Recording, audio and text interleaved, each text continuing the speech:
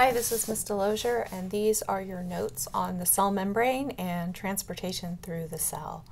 So uh, the first thing we need to do is we need to review the structure of the cell membrane, and this is going to take forever to draw, so I'm going to skip it. All right, so the cell membrane, as we've talked about, is a phospholipid bilayer. So it's two layers of phospholipids with a fatty acid tails pointing each other. But um, that's kind of an oversimplification because the cell membrane also contains proteins, uh, and those proteins act as channels to allow things to pass through from one side of the membrane to the other side, making the membrane selectively permeable. But also, there's proteins that are peripheral proteins that are on one side or the other of the membrane that have um, receptors attached, and those receptors are typically carbohydrates, and they allow uh, outside things to signal to inside of the cell. So uh, that's the basic structure of the cell membrane, and what we're going to talk about is movement into and out of the cell. And so um, there's different ways that movement into and out of the cell can happen. It can happen passively, which doesn't require any energy, or it can happen actively and require the expenditure of ATP. It can happen through just the phospholipid bilayer, so there are certain molecules that can actually pass straight through the, the fatty acid layer, um, but it can also happen through those protein channels. Um, and then there's also uh, the possibility of moving into or out of the cell membrane through endo or exocytosis, which we'll talk about. So let's start with talking about passive transport because that's probably what you're most familiar with. So passive transport happens via the diffusion of molecules from areas of high concentration to areas of low concentration. So um, the basic form of diffusion, the one that you've heard about the most, is probably simple diffusion, which is just molecules move through the bilayer um, from high concentration to low concentration. So like if you had a whole bunch of carbon dioxide, a high carbon dioxide concentration within a cell, the carbon dioxide can diffuse through the phospholipid bilayer to the lower concentration in the interstitial fluid. And it's not going to move all of the CO2 out, but it's going to move it so that it's at equilibrium. So it's at equal levels, equal concentrations between uh, both sides. So it works on a gradient property and it just happens. They have to be small molecules and they have to be non-polar molecules. The next type is osmosis, and osmosis is simply diffusion of water. Um, and it actually happens through special structures in the cell membrane, but that's beyond the scope of the class, so I'm not going to focus a ton on aquaporins. And so let's look at um, let's look at the cell membrane again. So here I have my phospholipid bilayer, and I'm going to go ahead and I'm going to label outside and inside, and I'm going to have a high level of oxygen concentration outside of the cell, right? And then a low level inside of the cell. So ideally, I would like to go ahead and have that oxygen diffuse into the cell. And so that's what happens, just based on the, the principle of diffusion and that concentration gradient, what will happen is the oxygen will move in until I have an equilibrium between the sides. And so that's simple diffusion. Um, and the next type is facilitated diffusion. So facilitated diffusion is through a protein channel. Uh, so this is going to be primarily for large or charged polar molecules. Uh, things like glucose, sodium ions, stuff like that. So we're going to look at an example that uses glucose molecules, but I'm not going to draw the glucose because I'm lazy. I'm just going to draw a bunch of uh, polygons that are the same shape as glucose. So let's draw my bilayer. I have outside and inside my bilayer, and I'm going to go ahead and put a protein channel in there and then I'm going to draw my glucose. So you can see I've got a higher concentration of glucose outside the cell membrane than inside the cell membrane, and obviously glucose provides us with our ATP through cellular respiration, so we need to find ways to move that glucose in. And glucose is too large of a molecule to diffuse through the phospholipid bilayer, so it needs a channel. So we're going to go ahead and we have my higher concentration outside, lower concentration inside, so that glucose will simply diffuse through the, the membrane but through the channel, and that's facilitated diffusion. It uses a protein channel. That's the basic difference between the two. So those are passive transport examples. We're going to move on to another example that's a specific example of passive transport. and that is going to be filtration. So filtration happens in capillaries.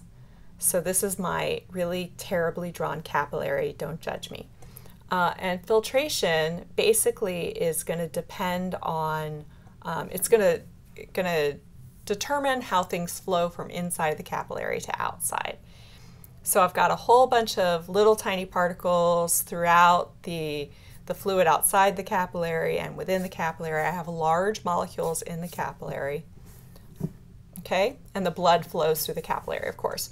So filtration forces tiny molecules, small molecules, through the, the, the membranes of the capillary walls based on pressure. So you have that pressure flowing, the blood is flowing through the, uh, the capillary, and so that's going to create an area of high pressure. And so what that's going to do is it's going to push those smaller molecules through the capillary membranes. And so that's filtration. Um, again, that doesn't require the expenditure of energy because the, the, um, the force is coming just from the pressure of the blood flow. So now let's move on to actual active transport. So we're going to talk about active transport. Remember, active transport um, is going to move molecules uh, but it's going to require energy. So it moves molecules from areas of low concentration to areas of high concentration um, and so it requires energy in the form of ATP. So it depends on a protein channel uh, exclusively. You can't have active transport just through the phospholipid bilayer. There has to be some type of protein channel because the ATP is basically going to turn on that channel. It's basically flipping a switch to allow the channel to, to, to let things in against the concentration gradient. Because again, we're going against we're going from low to high, so against the concentration gradient. So let's look at my, my same phospholipid bilayer, and let's go ahead and draw my, my protein. And then I'm going to go ahead and I'm going to put an absurd amount of sodium ions inside the cell and just a couple outside the cell. Now, sodium ions, depending on the type of cell, you either want them inside the cell or outside the cell at different times. But frequently with sodium ions, you're going to be moving them back and forth.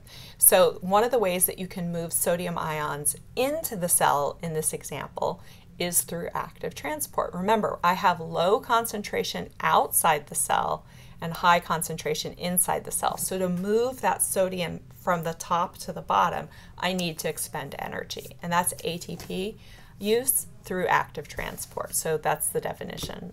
Um, of, of active transport. So we're going to look at the other ways that you can go ahead and move things into and out of the cell. Um, and these are all going to require energy expenditures, but they work a little differently than basic active transport. So they're basically going to be endocytosis or exocytosis, we'll talk about at the end. So endocytosis is going to be it brings materials through the vesicles into the cell. So I'm going to draw you a quick picture and then I'm going to give you a physical demonstration. So I have in the first in the first picture, I have my cell and I've got my green chemical on the outside. Let's say it's a it's a food molecule. So I want to bring that that that particle into the cell, but it's too large to pass through the cell membrane. So instead, the cell membrane is basically just going to go up and engulf it and then pull it inside. And so that's endocytosis. And you end up with a small vesicle um, that contains the nutrients inside the cell, and then that would be broken down by the lysosomes and used by the cell. And so there's a couple, there's actually three different ways that this happens. The first way is pinocytosis, which is bringing liquids into the cell. Um, the second is phagocytosis, which is bringing solids into the cell. And then the last way is receptor mediated endocytosis, which basically just means there's a receptor on the outside of the cell membrane, and when a chemical signal binds to the receptor, it triggers the cell membrane going and bringing stuff into the cell. So the uh, opposite of endocytosis is exocytosis, which is basically pushing out vesicles. And we talked about this a little bit when we talked about the Golgi. So the rough ER produces proteins, it puts them in vesicles, it sends them to uh, the Golgi apparatus, and the Golgi modifies and repackages them and then sends them out to the cell membrane. When that vesicle gets to the cell membrane, it merges, so it merges with the cell membrane and then basically vomits out the proteins into the interstitial fluid. So that's exocytosis. So that's it for uh, your notes on the cell membrane and on cellular transport. If you have any questions about those, please go ahead and schedule a tutorial time. Música